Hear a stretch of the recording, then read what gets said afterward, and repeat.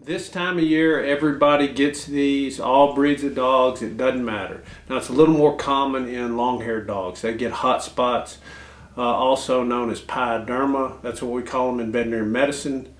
Um, and basically, uh, these spots look like red, weepy, crusty, painful lesions. They can be anywhere from quarter size all the way up to the size of your palm okay? And what they are, usually they develop during the hot times of the year, the humid times of the year, and something uh, irritates your dog and they start licking this spot and then a localized reaction occurs, a localized infection occurs. And lots of times they can be nasty, stinky, smelly, and really cause a lot of discomfort for your pet. This is kind of what they look like. This picture here shows the typical hot spot uh, on a dog's neck.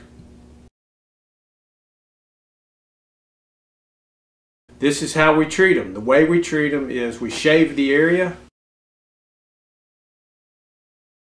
Okay, I typically put them on cephalexin, which is an antibiotic. Lots, sometimes they have to be on cephalexin for four weeks okay? I use a hydrocortisone cream. You can buy it at Walgreens or Walmart or wherever. I put that on there twice a day. I clean the area up. And then we'll uh, also sometimes use some uh, neosporin cream or triple antibiotic. Works great. It'll resolve in four weeks.